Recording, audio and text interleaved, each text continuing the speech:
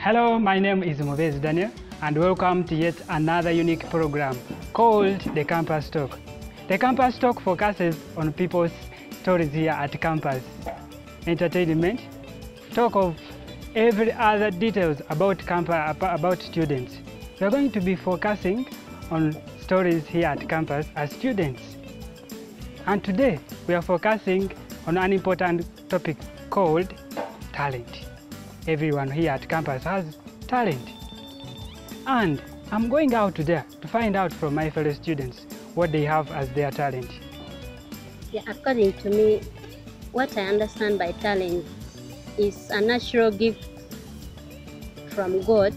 Like, what I mean by talent exactly is the natural gift that one can experience or, or use it to, to inspire others or make life out of it. Like, you create jobs, you make your own life, life standard to be more improved than you ever been before. As per day to day's life, sometimes you will not really, it is not easy easily to, to know exactly that you have a talent unless you show it out or you practice it so that people know that so and so really have a talent. So now I don't know my talent because I have too much talent. For example, I'm playing football, basketball, I'm sing.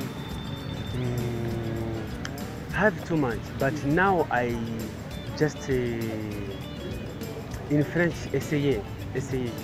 Je suis en train d'essayer to I'm trust all because I don't know now. Though I'm dormant, I definitely do have a thing for writing. Uh, I do dance, though I'm not, I love that in high school.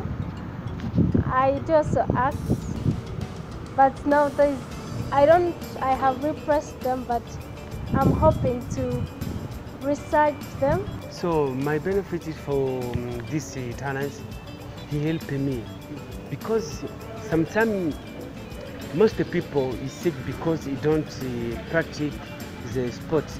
For example, me, he helped me for every day practice the training. Eh? My body is okay. He's helping me for have someone someone behavior in my body good. Hmm? This now is helping me. Talents, as long as you have that natural gift and you are so wise enough to, to, to realize it in you that you have it, you put it into use. Like those who sing, I don't know the first singer, by the first world singer, but I don't think it that person was was trained by somebody else. It was just a natural gift, and he came up with it and became a musician. So that being a musician and one's life to survive. Livingstone maybe can develop more talents, maybe like for the writing, through maybe the poetry, poetry competitions, or just showcases of people showing, showcasing their talents through writing, uh, through dance. Livingstone, I think, can promote talent through through motivating students, like the way they do in debate, in debating time. You find like there are those who are very shy and they, for them they don't know that they have that talent of of speaking very well in a public but once they are inspired to go and debate in front of many public they begin to realize that okay i didn't know that i can have this kind of fluent speaking in front of the rest.